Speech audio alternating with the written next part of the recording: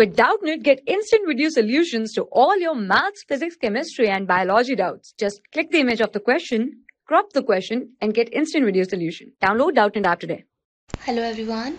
Let's start the question. The question says that what would be the equivalent weight of the reductant in the reaction? Reaction given is FeCN whole 6 minus 3 plus H2O2 plus 2H minus gives 2FeCN whole 6 minus 4 plus 2H2O plus O2. We are given with atomic mass of iron 56, carbon 12, nitrogen 14 and oxygen 16 and hydrogen 1. So first of all we will write the proper reaction FeCN whole 6 charge minus 3 plus H2O2 plus 2OH minus gives 2 FeCN6 4 minus plus 2 H2O plus O2.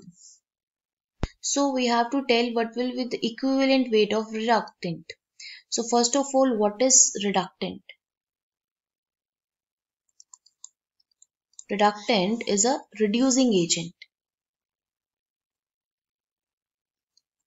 Reducing agent. What reducing agent will do? So reducing agent is the element which get oxidized itself and reduced the another element.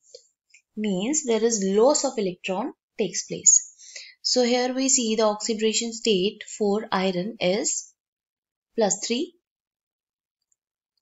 we simply calculate that x minus 6 equals to minus 3 so x is equals to plus 3 here oxidation state of O is minus 1 in this case oxidation state of iron is plus 2 because x minus 6 equals to minus 4 so you get x equal to plus 2 here oxidation state of oxygen is minus 2 and here it is 0 so among all where loss of electron is taking place.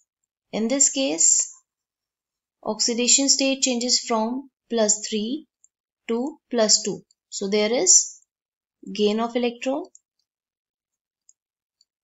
and a minus 1 to minus 2 oxidation state is changing from minus 1 to minus 2 here also gain of electron taking place the last one H2O2 to O2.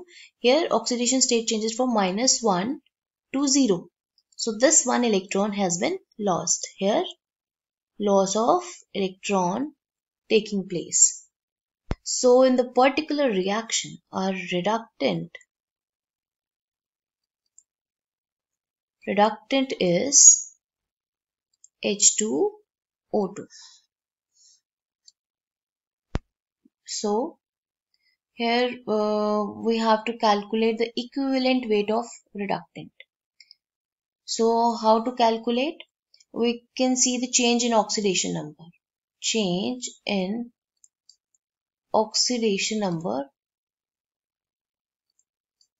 in this case is 1 and the number of atoms per molecule number of atoms per molecule in this case is 2